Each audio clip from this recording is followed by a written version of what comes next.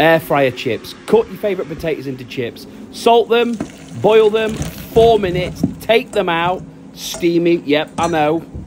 Drain them in a colander, let them dry. Salt, pepper, olive oil, air fryer 180, 30 minutes. Keep shaking, keep checking, and then drain them on a towel. Sprinkle them with sea salt.